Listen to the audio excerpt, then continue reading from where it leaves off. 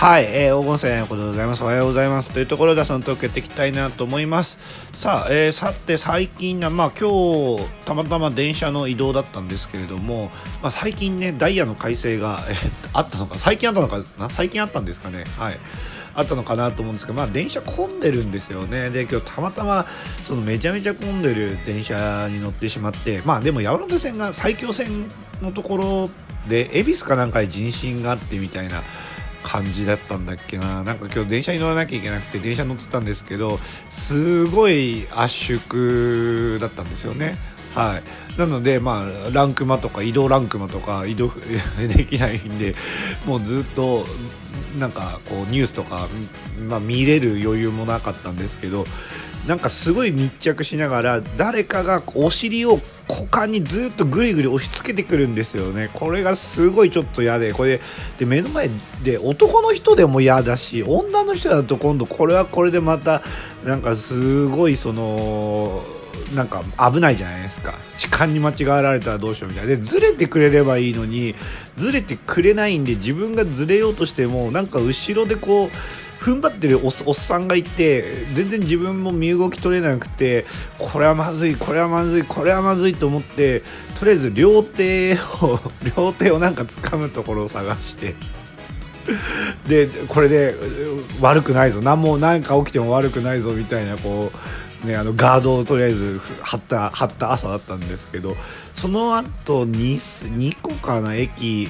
過ぎたら結構人が降りてもう真っ先にこうあのなんですよね。あのとりあえずポジションというか場所変えてみたいなこうセーフティーゾーンというかこうな何もない状態に行ったんですけどあれがおじさんだったらおじさんで気持ち悪くて女性だったら女性でまた、えー、なんだろうなっていう感じで多分多分おじさんではないんですけどおじさんか女性かの狭間のところだったんですけどいかんせん顔が下げれなくて下げれないっていうかもうね混みすぎててなんかこう混みすぎててこれどうなってんだろうなみたいな。っ ていうか逆に顔が下げられないぐらい混んでるってやべえなとかちょっと思ったんですけど。はい。というところでそんなねあの電車電車混んでるなっていうのではい。フレックスとかテレワークとかえー、ね、できる方はいいですけど満員電車、ね、今最近多いんじゃないかなというので電車乗ってる方に聞いてみたらやっぱ最近混んでるよということでしたので、はい、皆さんねあの人身とかあった時うまくね対処できて移動できるといいなと思いつつ今日も朝のトークやっていきたいなと思います。はい。さあ、えー、そんなところなんですけれども、えー、まずは今日金曜日ということで、まあ、いよいよアップデートですか、えコーナーキックフリーキックの必殺パス。が使えるようになるということで、まあ、ちゃんめがね使えるかどうかっていうところが一つ大きなポイントかなというところですね。これちゃんめが使えるようになるとやっぱわざつわざ使いたくなる人非常に多いかなというところではい。だってファールだった時めっちゃチャンスですよね。まあただダダダ男子とかないと榊君とか石崎君とか逆属性にある程度の距離だとねバシコン狩られちゃうかもしれないですけど、まあ、最近もうやっぱりソステが強いキャラクター多いので逆逆属性の自動パスカットが一時ねもうジェンティーレがやばかった時期ありましたけど去年去年だっけ？去年かなんかジェンティーレ非常にねやばい時期ありましたけどまああの、それにね付随してもそこの辺からね普通にやっぱちょっと距離あるパスっていうのは自動に引っかかってしまうっていうのがなんか普通になってきたなというような感じですかね。もうフィールドプレーヤー自動パスカットばっかりなのでまあやっぱりね今大変なタイミングですよね。逆にすり抜けで裏抜すり抜けができないとやっぱりディフェンダーねどうしてもマッチして勝負とかになってくること多いですしうん、まあねすり抜けても結局4バックだったらねセンターバック寄ってきてとかそこにカルズとかつけられちゃうと結局2マッチとかなりやすかったりするので、まあ、その辺が今ねあの多分新しくその最近のこのデッキの中でカルツが、まあ、ディフェンダーの割合が減ってきて、まあ、後ろをねオール自動にして、まあ、DMF、DF オール自動で両サイドの、えー、OMF も自動にしてるみたいな。ね、人とかだって左右だって技岬、えー、技岬じゃなくても、まあ、技岬、えー、右ににシェスターとか置くと、まあ、左右でねカルツがサイドバックた時に裏抜け取れたりするじゃないですか。で今だと、まあ、ゴーツァジェンティーレ石崎榊えー、ディック、まあ、結構であ、まあ、飯沢君とかも含めて、ね、自動パスカーそして自動ブロックも持った、えー、キャラクターまあネーム言ったキャラクター自動ブロックを持ってないキャラクターもいますけどまあみんな自動自動自動で で前にはナットレーザーがいる。マーガスはねマーガスでまああのシェスター召喚とかしたりもしますしまあ、サンターナのところだけ安全地帯かなと思うんですけどサンターナにみんなマッチしようとしに行くんで、まあ、そこはみんなカルツで狙っているみたいな形だったりとか、まあ、デバフの方もね、まあ、ジトー君やっぱりね箱ジトーとか使ってる人もいますけどアウミージャジェンティーで含めて、えー、自動のね持ってるキャラクター非常に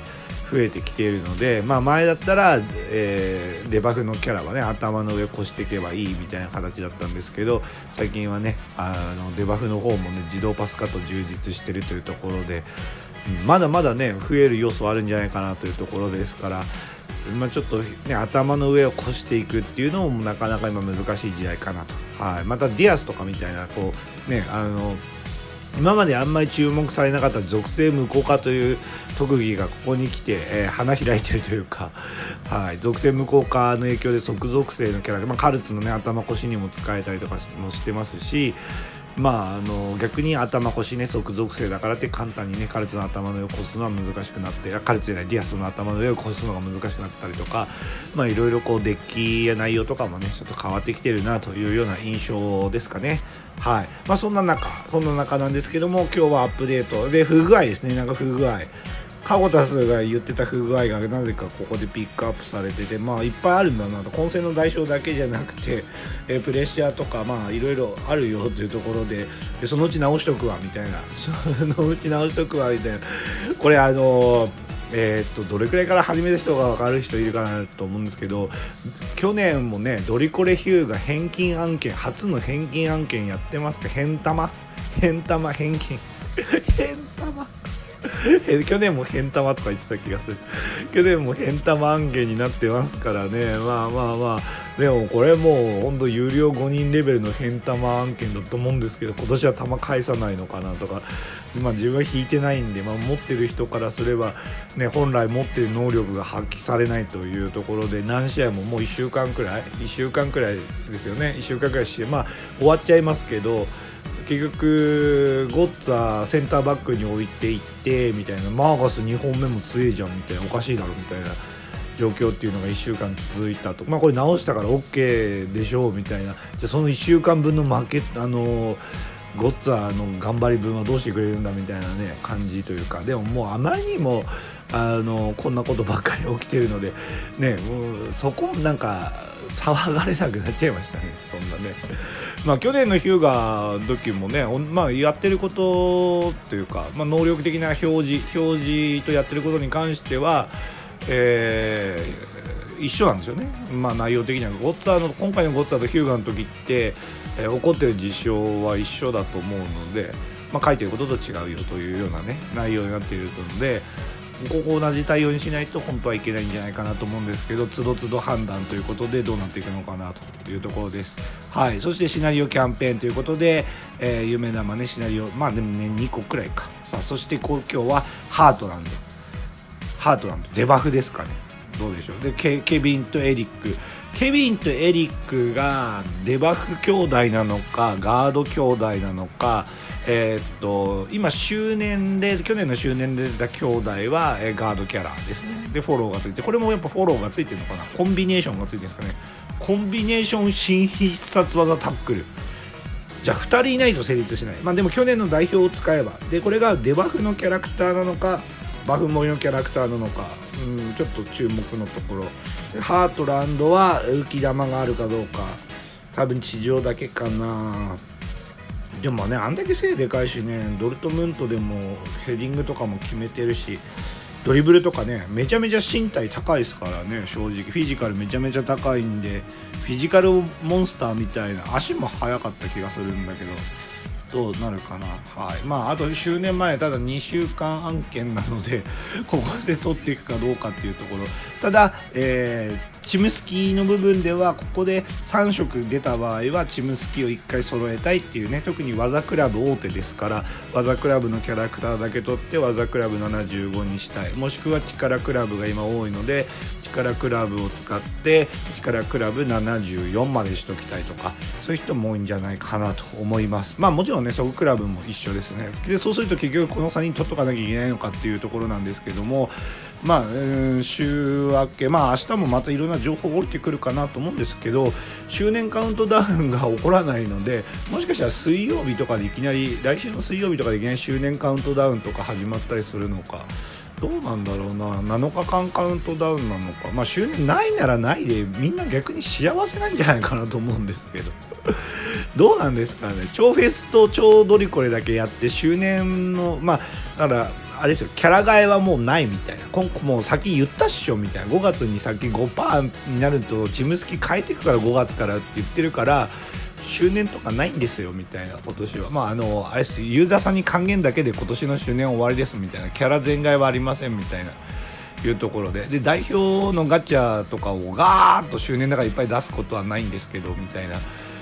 ていう風にしてくれたらみんなちょっとずつちょっとずつやってって今のねデッキメンテしながらえー、しっかりねやっていけるというのでそっちの方がいいような気がするんですけどただ、えー、クラブゲームズさん第1四半期赤字でございましたのではい。まあ、主に大きかったのは、えー、買収した、ね、子会社のところの連帯というところでそちらの影響が大きくてマイナスになっているんですがただ事実その入金面でいくと戦いドリームチームが今かなりねクラブゲーム社の中では主力コンテンツにのし上がっている状態。このゲーム全ねアプリゲーム全体で見ても戦いそこまで売り上げあるゲームではないんですけどもクラブゲームさんの中では主力コンテンツになっているのでまあ、そういう部分ではやっぱり厳しいは厳しい状態なのかなという部分ではやっぱり売り上げはもうやっぱりしっかり欲しい。状態なのかなというところですね。ただあんまりきつくいくと今度ユーザー離れてしまうので、まあ、どういうふうにねユーザーさんから課金させるかっていうところが、勝負どころなのかなと、まあ、最後の最後はもうまくっちゃってっていう形で企業存続をねやはり中心にしてっちゃうような気もするんですけれども前のなんだっけ作ろうの方か作ろうドリームチームかなんかの方やってる方とかのねコメントよく昔いただきましたけども最後の方はかなりひどかったですよみたいな感じでおっしゃってましたが、えー、もう5周年目を迎える戦いドリームチームはどうなっていくのかなというようなところですかね。はい。まずアナウンスが何もないのであとはね不具合ですね。相変わらずフリーズもしますし。皆さんどうですか？フリーズ落ち着きましたか？変わらんすよね多分ね。はい。まあフリーズの問題もありなんか リーグ戦で固まるとかっていうのも聞きますしはい。その辺どうなんだろう？リーグ戦で固まるとか超辛いっすよね。たまたま自分は運よくリーグ戦では固まったことないですけどそう今回タイムアタックの時かあの固まって あれでしたわ。あのタイムアタックの時に「おお最速タイム出たシュート!」っつってこうエリアの中でシュートしてであのシュートボタンであのキーパーに向かってボールがブワー飛んでいく時にブチュンって固まってあはい何もできないってやって画面ガーッと連打してたらプチュンってアプリが落ちてホーム画面に戻るみたい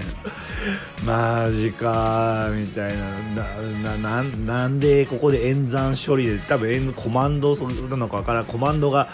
ね、処理してバ処理できなくてバグっていうのか演算処理できなくて固まってるのかわからないですけどまあまあまあまあまあまあその後ねまた何回かやってあのタイム自体は更新したのかな？確かそのステージは忘れちゃいましたけどねあのまあいろいろ直してほしいっすね周年ね。はい、まずはこうユーザーさんが安心安全で遊べる環境っていうのをまず最低限えー、提供するっていうところがプラットフォームとして必要ではないかなと。その上で、えー、ユーザーさんが選択できるゲーム環境っていうものですね、はい、提供していただけるのが一番いいんじゃないかなと思うんですけどまずはね安心して遊べるというところを、えーがんに追求してもういただければと思うんですがもうねユーザーさんからも何年も前からずっと同じこと言われててずっと繰り返しになっているのでもうこの辺は変わらないかなとちょっと思っております。はい。まあでもね変えてくれないと困るんで変えてほしいですけどね。はい。さあえー、っとですね今のところまだ先の予定なんですけども今週明日か。明日はえツイッター杯ベスト8水曜日が、えー、いよいよ準決勝。さあそしてその来週の日曜土曜日が、えー、決勝戦なんですけどその翌日の日曜日かな？日曜日29日ですね。はい。こちらの方でまあいよいよ周年前の、えー、最後のえー、日曜日になりますので周年前最後の日曜日ということで去年度用ですね振り返る戦いドリームチーム1年間というのをやっていきたればとやっていければと思っております。はい。去年の6月からどんなキャラクターが出てきたのか皆さんの思い入れがあったキャラクターや長く頑張ってくれたキャラクターまた、え月ごとにいろいろね振り返っていきますので、えー、このキャラクター頑張ってくれたなとかこの時期つらかったなとか、えー、いろいろねなんかこう思い出してまた5周年に はい迎えればいい迎えていければいいなと思うんですけれどもはい、またね激しくデッキ変わるのかこれデッキ変わらないでちょいちょいちょいってやれる中でドリドリコレとドリフェスは引いていかなきゃっていうだけでも全然売り上げうまくできんじゃないかなと思うんですけどね。はい。まあその辺ね最終的にはどうなっていくのかっていうところと、えー、今年の、え周年でのね今回もやると言ってましたので情報修正や洗剤乳洗剤のキャラクターがどこまで、えー環境の中でねついていけるのかというところで、まあ、去年なんかですと技林とかあと何が生き返りましたかね。技林くらいしかもう記憶にないんですけどなんか皆さんの中でこれ生き返ってよかったねっていうのあればぜひコメントください。はい、えー、さあそんなところなんですけど今日はこの辺で終わっていきたいなと思うんですが、えー、今日はいよいよネクストドリーム、えー、3人ですね。ドルトムンドの3人やっていきますのでどんな能力かぜひ見たいなと思います。はい。まあ、ハートランドすごい気になる気になるって言ってこの間も結局、まあ、保つがあるからなとか思いながらもライカールさんとって結局ライカールさん育成しきれず終わるというね、まあ、あのしっかりトーマチック見てから引くのがいいかなってちょっと思いました。はい、えー、というところで今日はこの辺で終わっていきたいなと思います、えー、よかったらまたぜひよろしくお願いいたします、えー、皆さんさあ今日頑張れば休み人もいいんですかね。はい。それでは、えーお疲れ様お疲れ様ですっておかしいですね。今日もよろはい今日も頑張っていきましょう。それでは